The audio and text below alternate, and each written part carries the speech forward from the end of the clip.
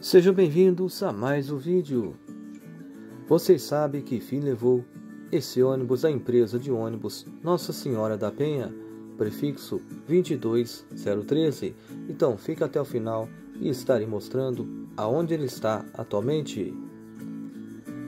Ele é um Tecnobus Tribus 3, ano 1989, e está sobre o chassi Scania K112CL. Esta foto foi tirada na cidade de São Paulo no dia 8 de julho de 2009.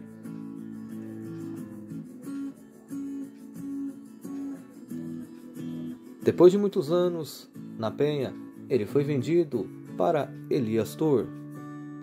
Nesta empresa, ele mudou apenas o nome e uma parte na sua frente, todo colorido, de resto ele manteve a pintura original da penha.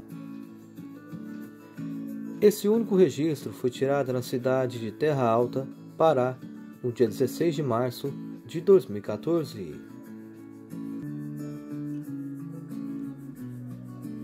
Depois de alguns anos dessa empresa, ele foi novamente vendido e está atualmente como particular. Reparem que ele mudou apenas a cor do seu para-choque, pintado em verde. De resto, é a pintura original da penha.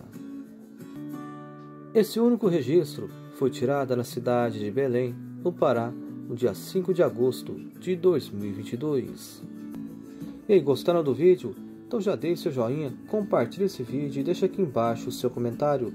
Não se esqueçam de seguir a página no Facebook e se inscrever no canal do YouTube. Muito obrigado a todos vocês, fiquem com Deus e até o próximo vídeo.